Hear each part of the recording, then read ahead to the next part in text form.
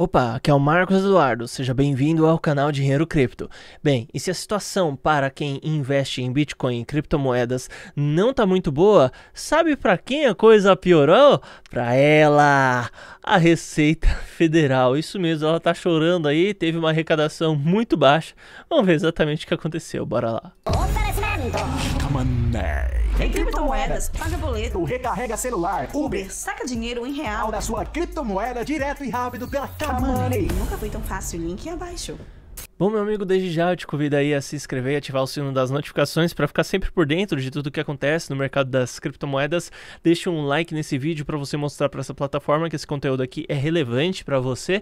E o primeiro link na descrição é da Binance. Usando meu, meu, meu link aí para se cadastrar, você vai ter 15% de desconto em todas as taxas de trade. E o segundo link é referente ao robô de operações que eu utilizo, tá? E a vantagem dele é que ele trabalha em várias corretoras, inclusive na própria Binance, e você paga apenas uma porcentagem, não, não paga licença, paga só uma porcentagem do que você lucrar. Tá? Então, se você não lucra nada, você não paga nada. E ainda é a cada quinzena, ou seja, você utilizou o período da, da primeira quinzena, não teve lucro, não paga. Teve lucro e não gostou do serviço, também você não paga e sai fora, não usa mais, tá? então é, é bem interessante, bem legal. Eu acredito que vale muito a pena você conhecer esse segundo link aí é um tutorial completo te explicando como que a coisa toda funciona. Tendo dito isso, então vamos comentar aqui a respeito aí da, da declaração da Receita Federal. Olha só que interessante, né? A gente... É, não, não, não vou explicar a piada, mas vamos lá.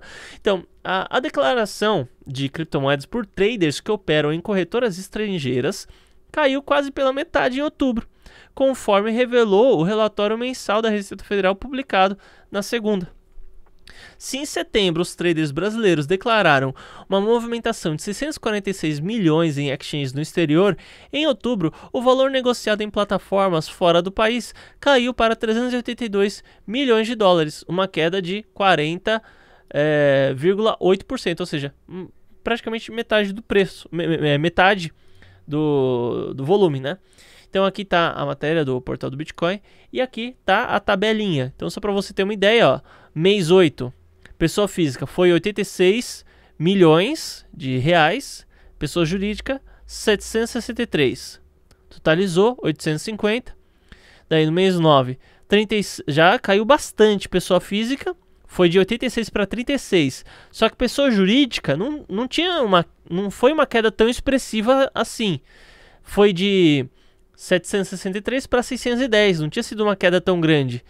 Já agora, pessoa física, né, foi de 36 para 33, mas de pessoa jurídica, aí é que, como diz minha mãe, que a porca torce o rabo, né? Foi de 610 para 348. Então, o que a gente teve exatamente agora foi uma debandada, foi uma debandada gigantesca das corretoras.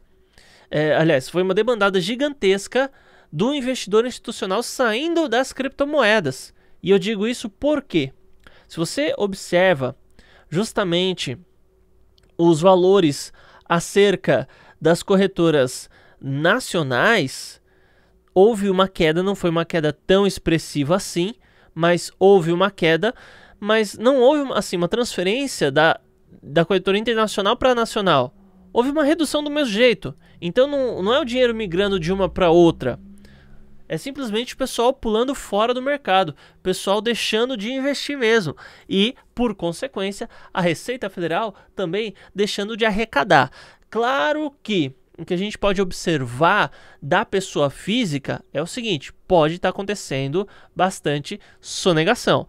Eu não vou entrar no mérito aqui do de se é certo ou errado sonegar. Eu só, eu só vou dar a minha opinião de que é, eu não acho certo você trabalhar e você ser obrigado a pagar para o Estado para eles uh, te em troca te darem serviço de saúde, segurança, transporte, educação e administração que você venha a utilizar ou talvez nem venha. Eu não acho certo esse negócio aí. Para mim, isso daí. É, o Brasil, embora você diga que não é um país socialista, não é um país, país comunista, para mim, a forma com a qual as coisas funcionam é o perfeito reflexo disso tudo. é, desses ideais e tudo mais. E o que eu penso é que não é só que as pessoas reduziram. Eu acho que a galera tá sonegando sim, tá? É, deixando de, de declarar porque não, não tem dinheiro, cara. Porque eu vou ser bem sincero com vocês, quando eu tava. Quando eu tinha o, o CNPJ, né? Eu tinha aberto empresa, e não MEI, empresa mesmo, né? Tá, isso já, já faz uns dois anos, talvez. Enfim. É, eu lembro que chegou uma hora que, que eu cheguei, eu recebi o boleto, eu falei assim, pô, mas peraí, eu, eu, eu, eu não tenho como pagar esse boleto aqui não. Che, chega um boleto lá de 13 pau, fala assim, não, velho, como que eu vou pagar isso aqui? Da onde que eu vou tirar dinheiro para pagar isso aqui? Não, não faz sentido esse negócio aqui não, velho.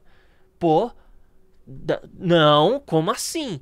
Então, é, é um absurdo, né? Você, da, daí depois, no mês seguinte, se você fecha no negativo, dane-se você. Dane-se você, dane-se o que acontece com você. Dane-se se você vai precisar de dinheiro. Não, eles não querem saber, eles querem saber quanto você ganhou de dinheiro naquele mês e o mês seguinte que se dane você. É assim que funciona. Então, eu não, não culpo aí, não julgo quem, quem sonega, não, não vou dizer que você está errado, não vou falar que você está cometendo um crime. Se o Estado quiser dizer isso, se a Receita quiser dizer isso, eles que digam. E eu não vou falar não, porque é, eu sei o que eu passei com a Receita Federal. Eu sei os apertos que eu tive aqui. Eu sei é, quando eu ganhei bastante dinheiro na minha vida, eu sei como que foi. Eu sei o sofrimento que é ser extorquido por essa máfia maldita do capeta. Então, eu também não vou aí ficar passando pano pra esse bando de satanás, não. Então, eu acredito que é. A coisa começa a apertar para as pessoas. Até certo ponto, o cara tava lá. Meu, ah, declarar essa parada aqui. Vou declarar, vou declarar, vou declarar. Daí de repente começa a apertar, o cara fala, mano, deixa eu cortar a receita aqui porque eu tô com pouca grana, não dá não. Não dá não. Então, para mim é isso que aconteceu. As empresas, a sonegação é um pouco mais difícil, mas também é possível. Então, também penso que podem dar a sua driblada aí e é bem provável que isso esteja acontecendo. Redução no investimento? Sim, também também, porque também houveram muitas perdas. Mas também acredito que houve sonegação. Agora, no brasileiro, né, em exchange brasileira, como o controle é maior, hum, aí penso que não houve de fato sonegação aqui.